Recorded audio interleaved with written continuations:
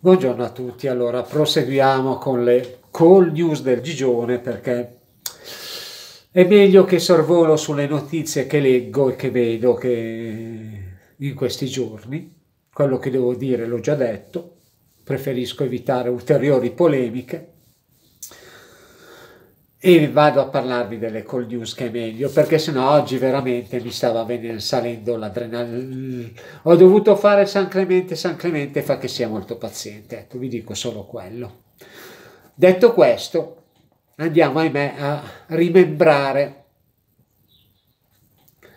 la scomparsa del papà di Michaela Schifrin avvenuta ai primi di febbraio di quest'anno la scomparsa di Jeff Schifrin, il papà di Michaela, è tra, le, è tra le figure fondamentali nella vita e nella carriera sportiva di Michaela, l'autentica regina del circonbianco, ha scosso tutti quanti. Non per niente io la chiamo ogni volta che racconto una gara di sci e tocca a lei scendere, dico Sua Maestà. Una morte improvvisa a soli 65 anni, secondo quanto hanno riportato Sky Racing e NBC. La tragedia è avvenuta appunto sabato in un incidente nella sua casa di Edwards in Colorado, cadendo dal tetto dell'abitazione. Jeff era rientrato negli Stati Uniti dopo essere stato al fianco dell'intero team Schifrin, della figlia Michaela alla moglie Helen, dalla figlia Michaela alla moglie Helen, nella trasferta di Bansko Medico anestesista, appassionatissimo di fotografia e anche discreto sciatore, Jeff Schifrin è stato ricoverato all'ospedale di Denver, dove Michaela, Helen e il fratello della campionessa Taylor gli hanno donato l'ultimo saluto, rientrando direttamente dall'Italia visto che erano in corso gli allenamenti sulle nevi di Folgaria, dopo aver scelto di saltare la tappa di Rosa Kutor e concentrarsi sulle gare di Garmisch. È chiaro che, come avete potuto notare, Michaela sarebbe dovuta rientrare a dare, ma per circa due mesi non ha partecipato a nessuna gara di sci. Quindi al di là dell'aspetto agonistico, dopo la scamparsa dell'amatissima nonna pochi giorni prima del gigante d'apertura a Solden, per lei veramente che era partita, come vi avevo già detto, con l'intento e le, tutte le possibilità di fare il filotto che viceversa ha fatto Federica Brignone. È proprio cioè questa è la dimostrazione che nella vita non possiamo dare mai nulla di scontato e mai dire farò sicuramente next year eccetera eccetera eccetera. Forse è meglio che viviamo tutti non solo ahimè una campionessa come Michaela ma tutti quanti, day by day, senza pensare al futuro, perché il futuro, ahimè, lascia molto, molto a desiderare, perché può succedere di tutto, nel bene e nel male.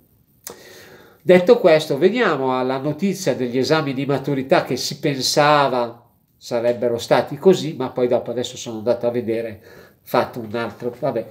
Comunque, vediamo cosa avevano detto circa tre mesi fa sul, sull'esame di maturità. Esame di maturità online con solo prova orale, tutti ammessi e commissione interna per valutare.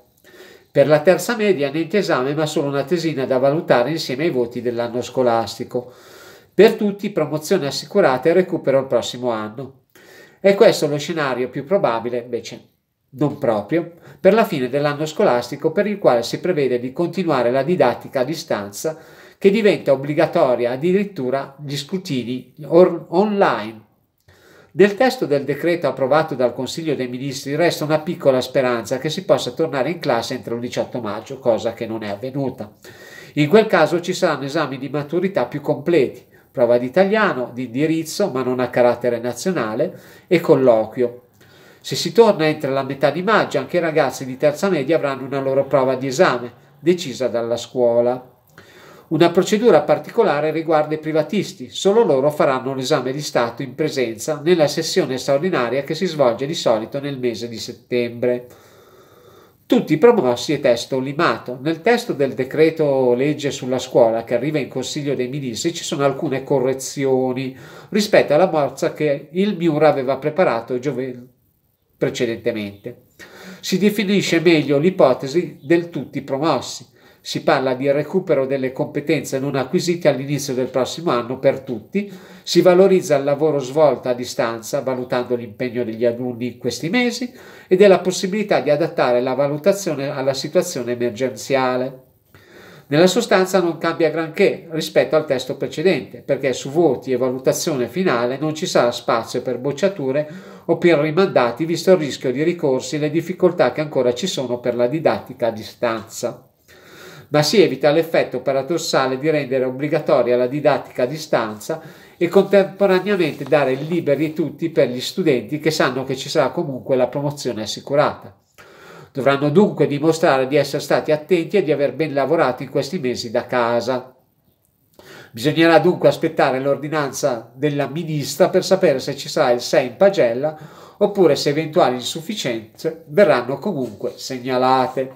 Dunque, per quanto riguarda l'esame di maturità, pare, pare che lo facciano in presenza, non ci saranno prove scritte, ci sarà questa super domandone, diciamo, in cui gli verrà chiesto praticamente tutte le materie, dovranno preparare delle tesine, dovranno preparare varie cose, eccetera, eccetera. Sono su cinque step che non vi sto a stressare perché la maggior parte di voi che deve fare la maturità lo sa e agli altri non gliene può fregare di meno.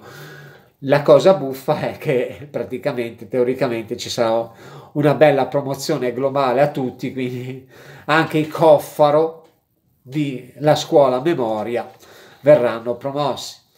Ahimè, eh, le cause di forza maggiore, adesso vedremo poi a settembre se riusciranno a ripartire, magari riparteranno al primo di ottobre come capitava ai miei tempi negli anni 70 che la scuola iniziava al primo di ottobre. Poi piano piano dal primo di ottobre, il 20 di settembre e alla fine iniziavamo a metà settembre, addirittura anche al 10 di settembre. Comunque tra il 10 e il 20 settembre di solito ricominciava la scuola, poi dipendeva dalle zone.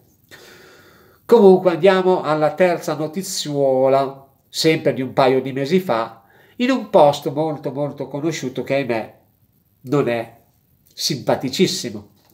Si fa sempre più critica la situazione a Chernobyl, dove da oltre una settimana sta bruciando una vasta area boschiva che circonda il distretto nucleare tristemente noto per il più grave incidente della storia. Nelle ultime ore l'incendio si è rinvigorito anche grazie al vento e si è esteso fino ad arrivare a ridosso del sito di depositi di scorie radioattive. Le fiamme sarebbero infatti a circa due chilometri dal, dal deposito di Pidlishny, dove sono conservati i rifiuti più radioattivi dell'intera area di Chernobyl. Più di 350 vigili del fuoco lavorano per contenere l'incendio.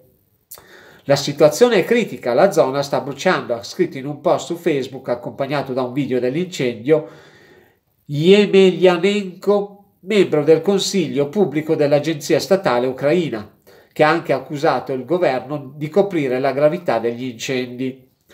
Le autorità ucraine, ucraine hanno finora tranquillizzato affermando che tutti i livelli di radiazione a Kiev, la capitale, sono nella norma. Nella zona dei roghi invece è stato stimato un livello di radiazione 16 volte superiore alla media.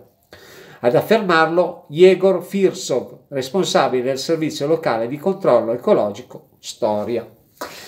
Quindi oltre al coronavirus, anche eh, Chernobyl, fortunatamente poi hanno risolto tutto quanto, eccetera, però capite che quando qualcosa brucia va su per aria, il vento lo trasporta e poi qua c'è di tutto e di più, ahimè. Veniamo finalmente a una bella notizia, una notizia veramente carina e bella le cime dell'Himalaya tornano visibili da 200 km di distanza. Non accadeva da 30 anni. Quindi vedete cose positive, cose negative, eccetera. Le cime dell'Himalaya, dell'Himalaya tornano visibili da 200 km di appunto, eh, lo ripeto, cosa lo ripeto. Ora, per via della riduzione dello smog dovuta allo stop forzato di industrie, automobili e qualsiasi altro mezzo di trasporto, le cime si vedono dalla regione del Punjab Bello da mozzare il fiato, non come stare in cima a una delle sue vette, ma il panorama è quasi paragonabile.